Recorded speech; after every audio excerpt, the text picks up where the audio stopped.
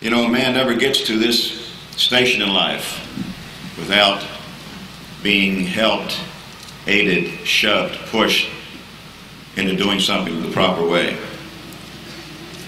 As the other enshrinees mentioned, thanks to their families, so also I have to do that.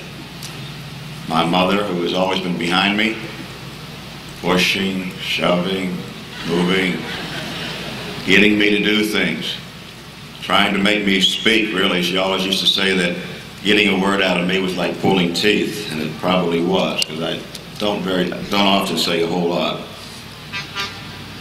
My family, of course, my wife, kids, thank all of them for being here, for being behind me.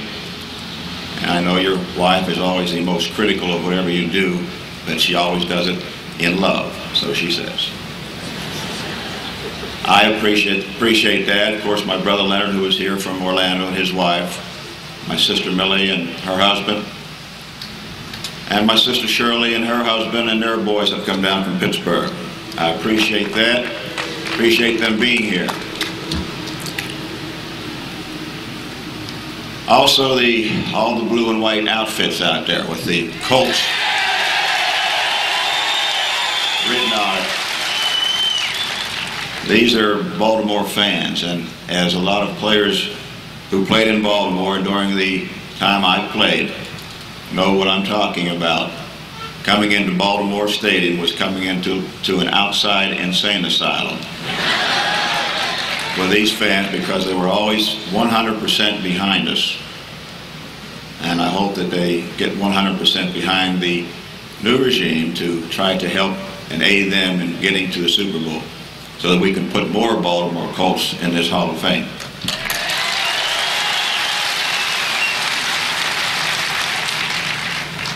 I won't take up a whole lot of your time. It's going to be a fine football game this afternoon and it's getting a little warm.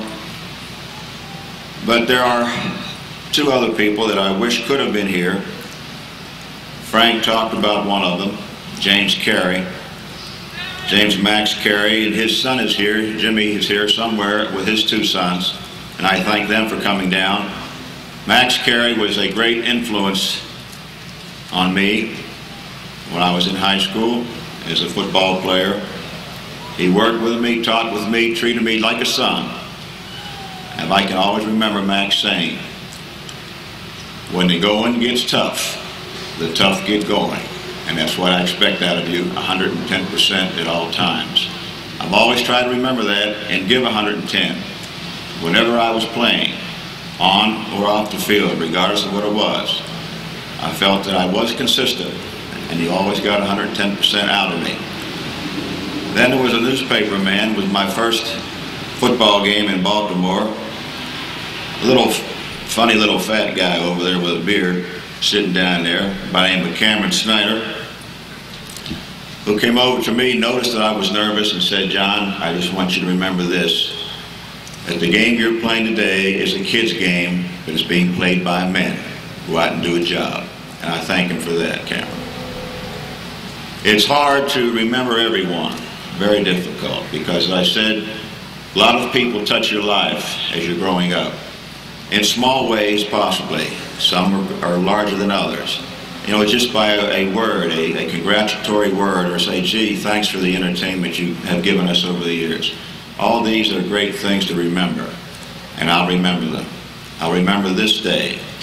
But I honestly want to be honest with you that the players that I played with over the years, the coaches that I had, the Sandusky's as a player, Nutters, the Eggers, Braase's, Marchetti's and Pellingtons, Ewbanks, Shula's, all my coaches, McCafferty's, they are directly responsible for my being here.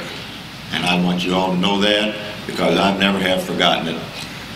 I thank you very, very much for your attention and for the kind words and may God bless all of you.